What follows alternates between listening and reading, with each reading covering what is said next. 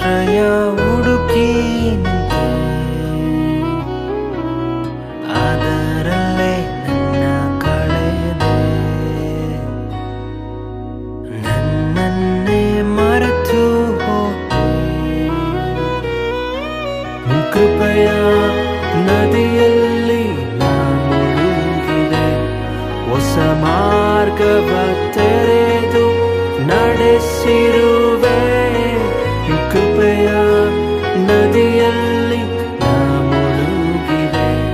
ಹೊಸ ಮಾರ್ಗವ ತೆರೆದು ನಡೆಸಿರುವೆ.